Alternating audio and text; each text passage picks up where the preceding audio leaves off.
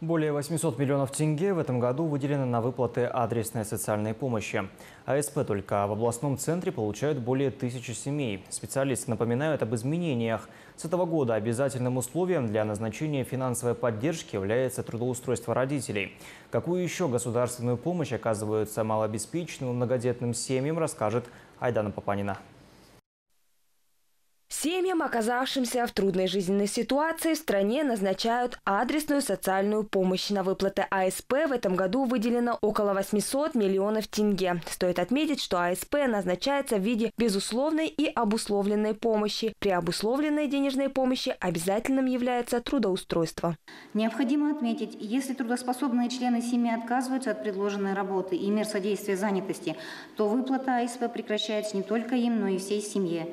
На следующий 6 месяцев данная семья лишается права на назначение АСП. Так, в 2022 году было отказано в назначении АСП по этой причине двум семьям.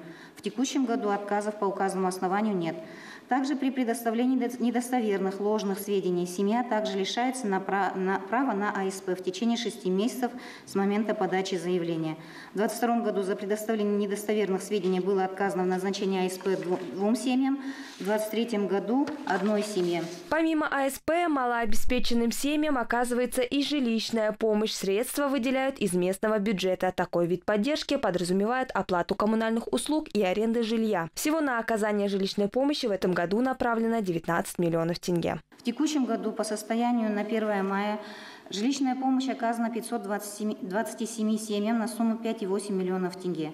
За аналогичный период 2022 года было оказано 549 семьям на сумму 5,7 миллионов тенге.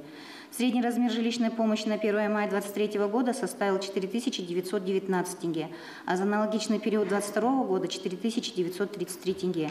Снижение среднего размера жилищной помощи в текущем году связано с увеличением совокупного дохода семьи, то есть это индексация пенсий и пособий, увеличение минимальной заработной платы. Отказано в назначении жилищной помощи в 2022 году 52 заявителям, в текущем году 46 заявителям.